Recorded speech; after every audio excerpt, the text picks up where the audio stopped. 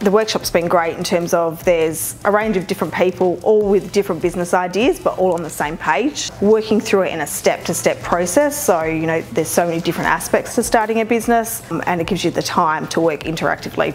You have to focus on the numbers. Yeah, I've got a lot of work uh, ahead, but at least now I have a much clearer pathway.